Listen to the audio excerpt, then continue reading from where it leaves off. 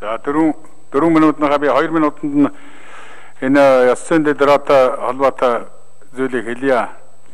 За энэ дөрвөн танхимд ахалж байгаа хөмсүүд их хэсэг танхим Тэрвчтав гишүүн, Үндэсэн хуулийн танхим Жэбатар эдэн гишүүн, Жанжин Сүхбаатарын танхим Лүндэ Жансан гишүүн, за Хизэн богд Чингис хааны танхим Тэмүүлэн гишүүн нар бол маш сайн хариуцлагатай ажиллаж байна энд над ирсэн эрс мэдээгээр бол бүх одоо танхимуудын эрс бол чөлөөтэй өвчтөөгөөс босдоо хүмүүсийн эрс хангалттай байна.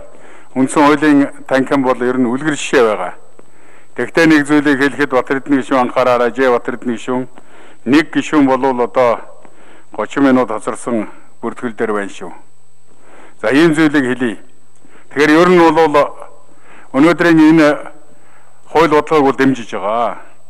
Тэгэхээр бид нар ойлголтоо нэг болгож авах их чухал байна. Тийм учраас бол энэ удирдлагын бүтцийн хувьд нь сая Бямцогтой гишүүний одоо танилцуулснаар ойлгомжтой болох юм байна.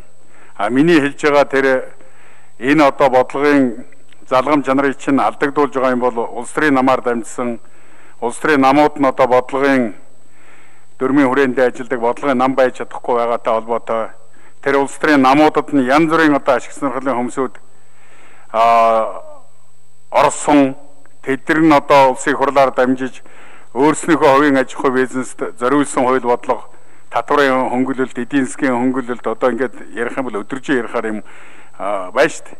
Тэр ийм юмнуудыг одоо та бол үндсэн хуулийн нэмэлт өөрчлөлтөөр болоод бусад хуулиудаар хааж өгсөн гэж хэлж байгаа.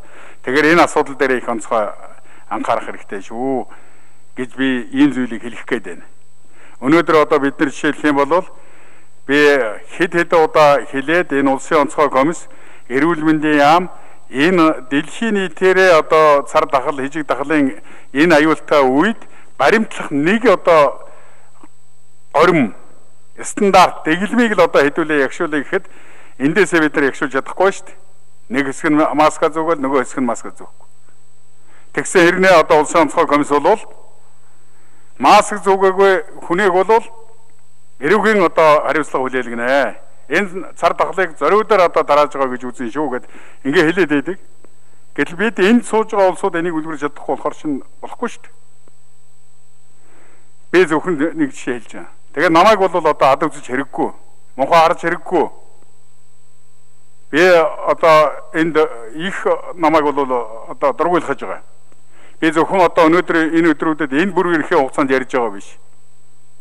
Би нэг хурал суусан одоо хэд хэдэн удаагийн бүр ирэхээ хугацаанд би энэ зарчмын шаардлагуудыг л тавьж ирсэн хүн. Их хурлыг одоо Батэрдэн муухан харагдуулаад байна. Ийм одоо зүйлүүдийг яриад байгаа. Тэгэхээр бид нэр одоо цагтаа цуглаад ажилдаа хариуцлагатай байгаад энэ гамшигаа хамгаалах бэлэн байдлын дэглэмийг ёсчлон биелүүлж иргэдээ өвлгөрлээд ингээд одоо хувийн эрх хишгээ хойш нь тавиад Улс нийгмийнхээ төлөө одоо зүтгэ ажиллахад энд бол ямар ч асуудал واخгүй. Надаар одоо цоллуулж хэлүүлж явах шаардлагагүй. Бид таг дуугаа одоо баяр талархалаа дэвшүүлээл сууж явах болно. А энэ зүйлийг хэл. Ингээд энэ хоёул бодлогыг дэмжиж